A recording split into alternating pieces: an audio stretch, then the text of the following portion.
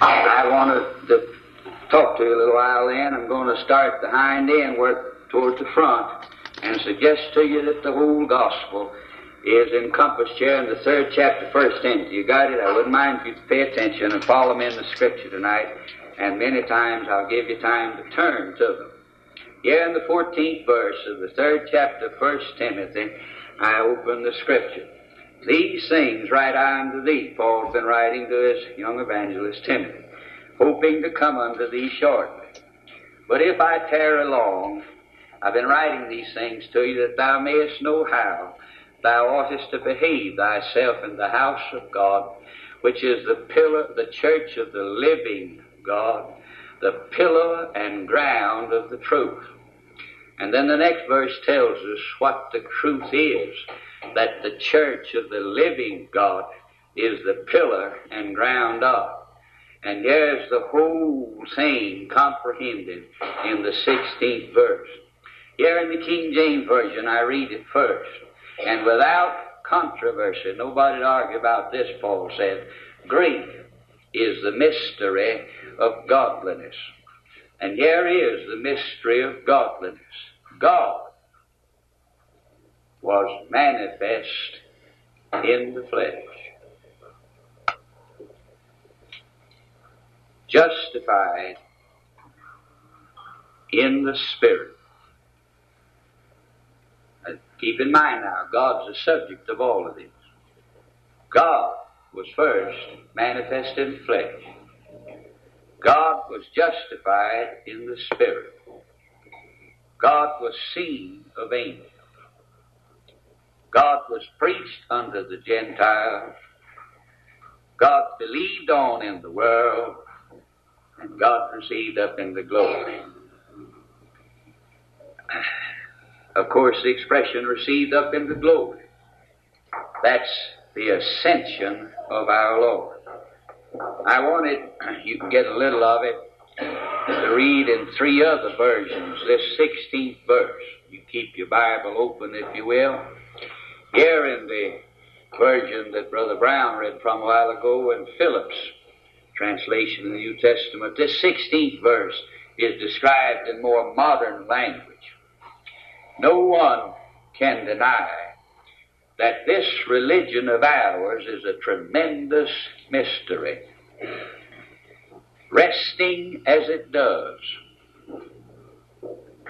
on the one, praise God. He's the foundation, isn't he? Uh, he's the pillar and the ground. Is that right? He is the truth.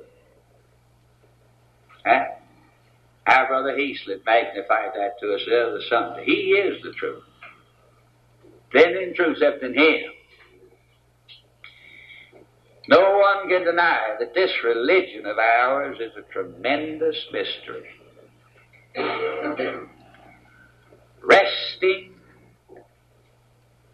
it sinks or falls, as it does on the one who showed himself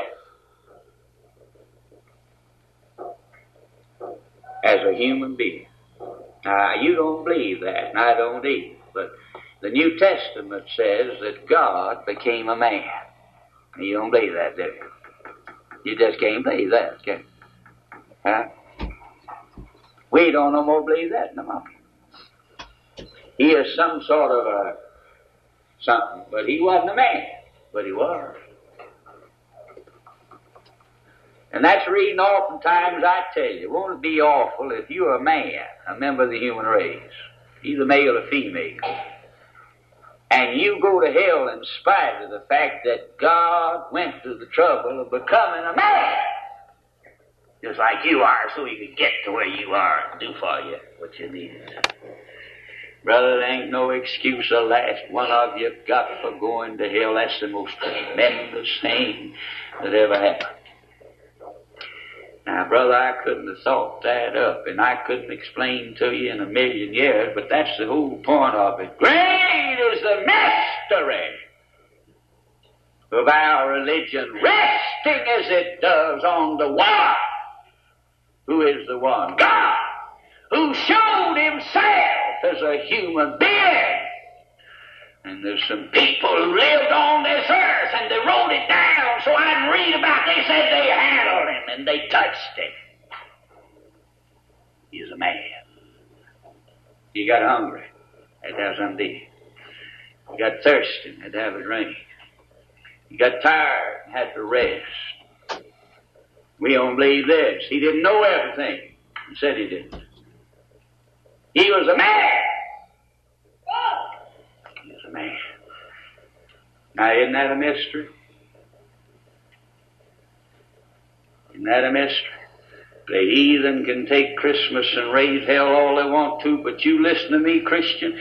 That's the beginning of the visit of God Almighty in the flesh to this whole earth, and it's high and holy and sacred. And that baby was God, and yet he was man. That's the mystery. You'll never have the slightest idea what salvation is unless you remember that it is man that did the sin, And therefore it's man that's got to make things right. And the only way that even God could save you, Richard Carter, you had to become a man in order to do it. So that a man,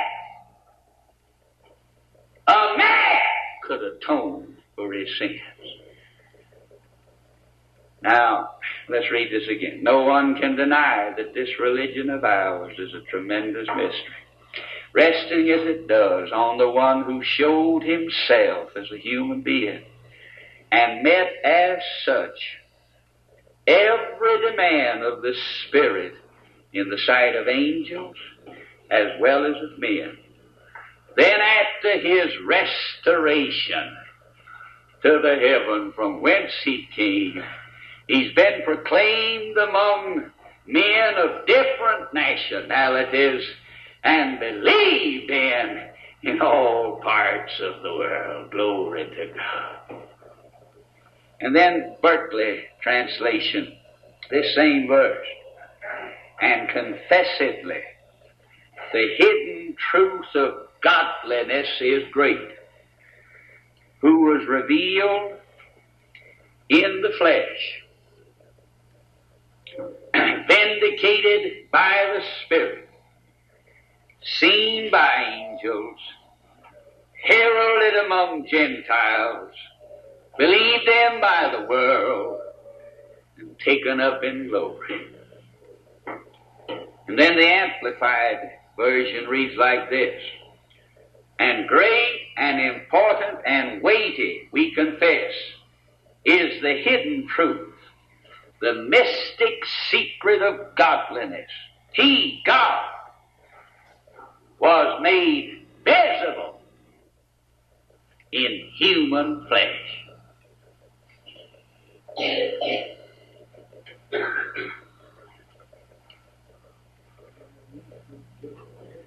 Justified and vindicated in the Holy Spirit he, God, was seen by angels, preached among the nations, believed on in the world, and taken up in glory.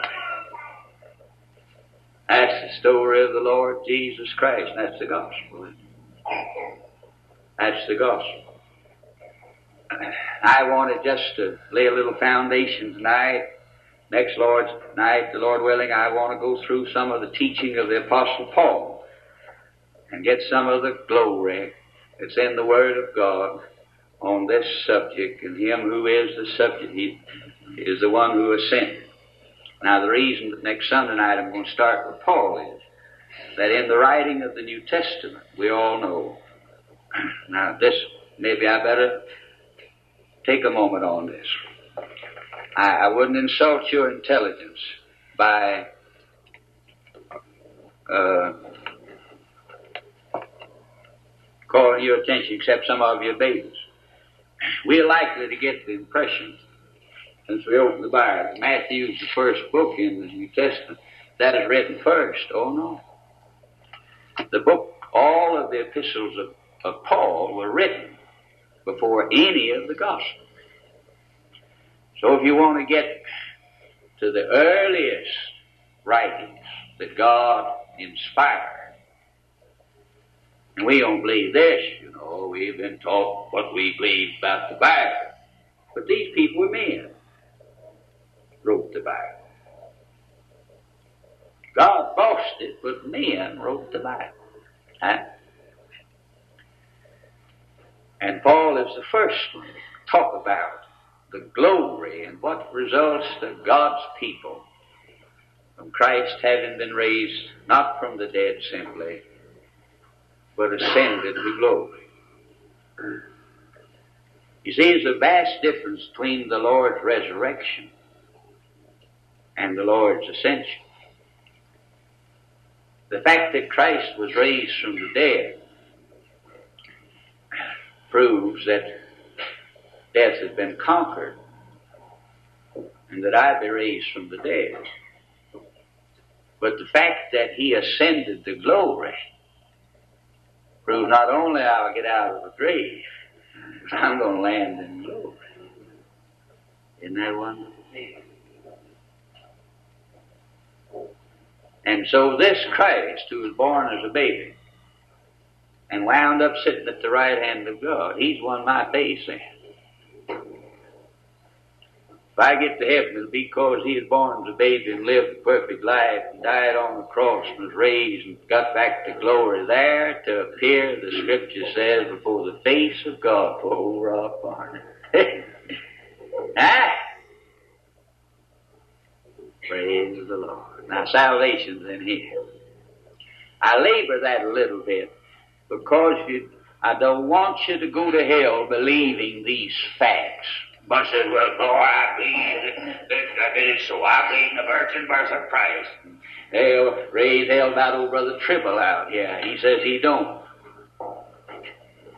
Well, you could believe that and still not have him. Still not have See, you can believe that, but it's not salvation isn't in a that.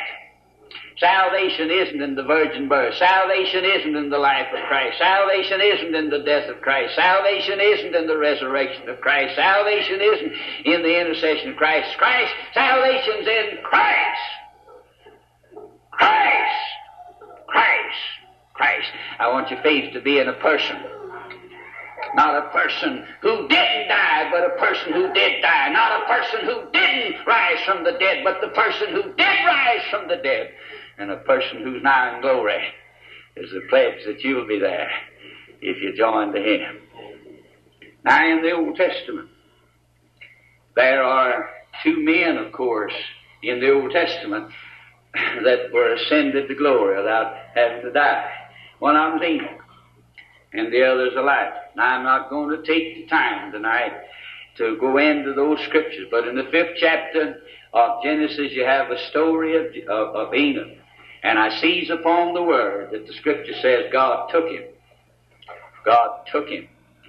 And then in the second book of Kings and, and uh, uh, what chapter is it? Second chapter, I think it is. In the first verse, you have the story of the ascension. He's taken up in chariots, what? He just went from right here up to there. Well, praise God, I am too sometime. I'm going to come out of that grave and I'm going to clear it up. And the same word there is take. Now, in the Old Testament, listen to me. In the Old Testament, nobody believed in resurrection or ascension. When a man died in the Old Testament, he went to Sheol, and as far as they knew, that's last to him. You remember the controversy when the Lord was here in the flesh between the Lord and the Pharisees and the Sadducees. Now, the Sadducees were the fundamentalists.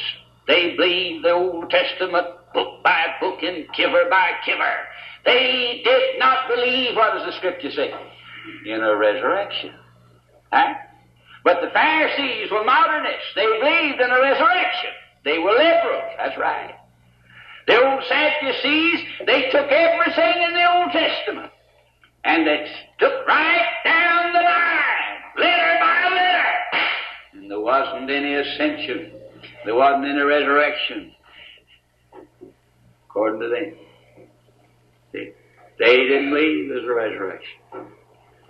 And so here's Enoch. And the sense is that he was a good man. But watch it now. That he was so good in the sight of God that he didn't deserve to die. But he did deserve to be taken to glory. And the same is true of Elijah. He was such a good man. God looked at him, said he deserves a better fate than to go to Sheol. And God took it. And thus they both are clear types of Him who in 2 Corinthians 5 and 21, Him who what? Knew. Bless God, He is ascended too. God took Him back to glory. Praise the Lord. See? Now that's a beautiful thing. If I can be joined to Christ, then God reckons me as to be too good just to go down to the pit. And one day, as I'm joined to Him, praise the Lord, I'm going to be taken to be with Him. That's right. Now, while the Sadducees didn't see it, because they were literalists, the Pharisees did. There are four Psalms. As far as I know, there are only four Psalms, and all of the teaching, as far as I'm able to get, about the ascension of the Lord is prefigured, is given in these four Psalms. And I wanted just to read some excerpts from them tonight. The first one is Psalm 68, if you'd like to turn to it. And here in Psalm 68, I'm going to be reading from the authorized version. You can follow it in whatever version you have. Here in the 17th verse and the 18th verse of the 68th Psalm, we've got a marvelous prefigurement or a picture of the ascension of the Lord Jesus Christ. And we'll learn in this discussion how the Apostle Paul changes the language here in verse 18 when he comes to write. Here in verse 17 we got a picture of the, of the uh, convoy of angels that uh, escorted the Lord Jesus Christ when according to Paul, him who was manifest in the flesh, and was justified in the Spirit, and was seen by angels, and was preached among the nations, and was believed in in the world, and was received up to glory. And the psalmist gets a picture of a convoy of angels that are going along escorting the Lord Jesus Christ as he goes from this earth after and goes up to be with the Father. Here, in the chariots of God are 20,000, even thousands of angels. The Lord is among them as in Sinai in the holy place. Thou hast ascended on high. Thou hast led captivity captive. Thou hast received gifts from men. for men, ye for the rebellious also that the Lord God might dwell among them. And then in Psalms 47, there is a reference to the resurrection of our blessed Lord. In verses 1 and 2, we read first Psalms 47. Oh, clap your hands, all ye people, shout unto God with a voice of triumph, for the Lord Most High is terrible. He is a great king over all the earth. Then verse 5, God is gone up with a shout, the Lord with the sound of a trumpet. Sing praises to God, sing praises, sing praises unto our King, sing praises, for God is the King of all the earth. Sing ye praises with understanding. God reigneth over the heathen. God sitteth upon the throne of his holiness. The princes of the people are gathered together, even the people of the God of Abraham. For the shields of the earth belong unto God. He is greatly exalted. Now, you know, that's about the Lord. Well, the, the New Testament writers quote from these scriptures. I don't think I called your attention to that. I don't know how much reference there is to the ascension of the Lord in the Old Testament. I simply know, as far as scholars have been able to find out, the only references to the going up into heaven itself of the Lord Jesus is found in these four Psalms. In Psalms 24, we got a blessed picture of how the Lord was received when he got there. And this is blessed because he went up there for me. He went up there for me, and I sure am interested in how he is received when he got there. In verse 7 we read, Lift up your heads, O ye gates, and be ye lift up, ye everlasting doors, and the King of glory shall come in. Well, who is this King of glory? Well, he's the Lord, strong and mighty. The Lord mighty in battle. Lift up your heads, O ye gates, even lift them up, ye everlasting doors, and the King of glory shall come in. Who is this King of glory? He's the Lord of hosts.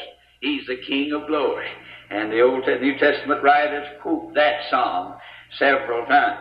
And then in Psalms 110, right quickly, we have another beautiful reference to the ascension of our blessed Lord. Beginning at verse 4 of Psalms 110, we read this expression Jehovah hath sworn and will not repent. Thou art a priest forever after the order of Melchizedek. Jehovah at thy right hand shall strike through kings in the day of his wrath. And here's a picture of the enthronement of the Lord Jesus Christ at the right hand of God, not only as king, but as priest, not just some old flesh and blood man. Our enemy is the power of the devil himself. And watch it now. We wrestle not against men, but we have to do in the spiritual realm with powers and principalities under the control of Satan.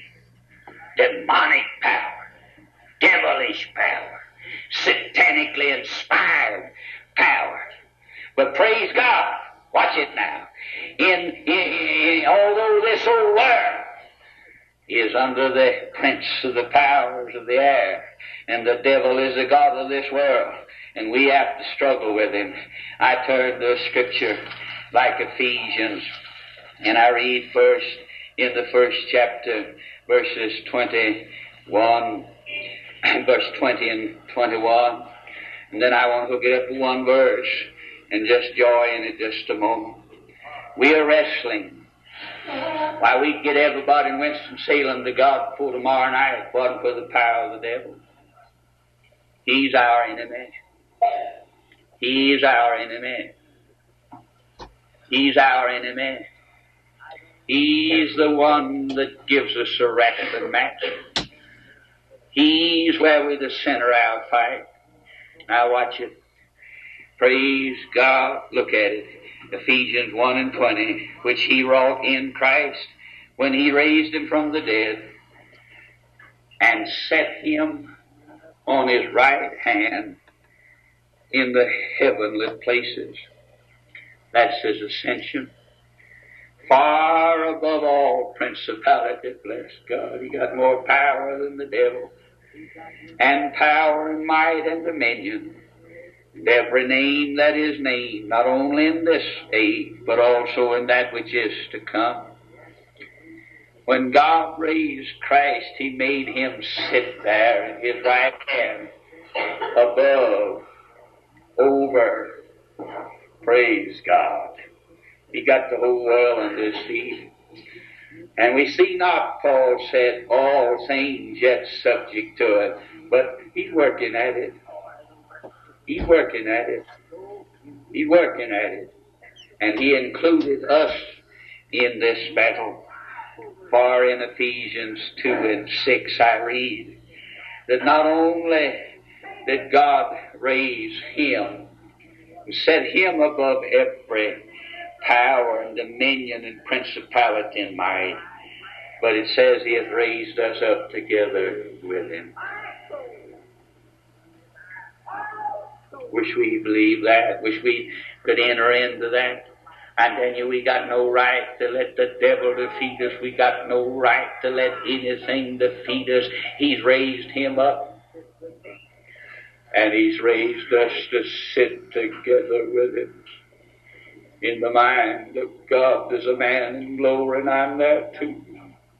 And he raised him to exercise lordship and sovereignty and rule over this whole universe and bring it unto subjection unto Him. He says we had a share in that. And I get this, brother, even though I can't believe much of it, brother, victory is ours. Victory is ours.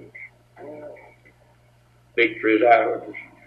I give my two hours if I knew how to teach and preach and also teach and preach to myself so we could change our tune. Let me just give this brief word and I'm through. I used to be associated, I'm not very proud of it, with Dr. J. Frank Norris. And wherever he went, he built another new church, built a church, took a little rundown, dead church in Detroit, kept his church in Fort Worth in three, four years' time, he had thousands of people joined. Didn't mean much to join. But the way he did this, his workers went out and they had the greatest Sunday school class in the world. They had the greatest preacher in the world. They had the greatest church in the world. They had the greatest services last Sunday that ever had. Next Sunday they'd have the greatest one that ever had. And they didn't know how to use more, they said most. They never used the word better, they said best. And I don't much like that bragging on a man.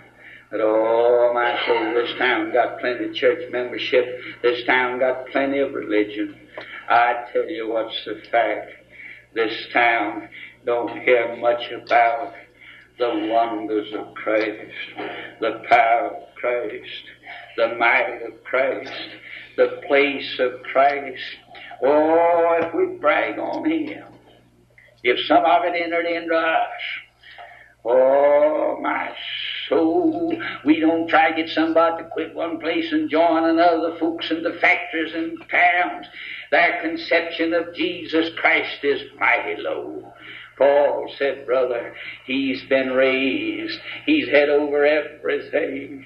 He put up there to start the job of bringing this old world under subjection to himself. It's time we quit apologizing for believing in Christ, brother. He's the one God's turned this outfit over to. It's time we begin to magnify him. He's gonna win, brother. He's gonna win. He's to win. He's already dealt the death blow to the devil and his crowd. Praise God. And the old snake's tail's still wiggling, but its victory is already certain. And victory is certain for those who share in his victory, for he hath raised us to sit together with him in heavenly places in Christ Jesus.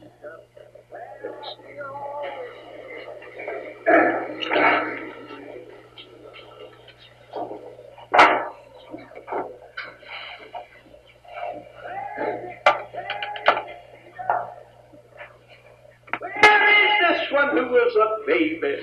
Where is this one who wound upon a cross? Where is this one who was seen of many people? Where is this one? He's been exalted, bless God. Where is he? He's been exalted. He's been taken up. God took Enoch. God took Elijah. God took Christ. He exalted him.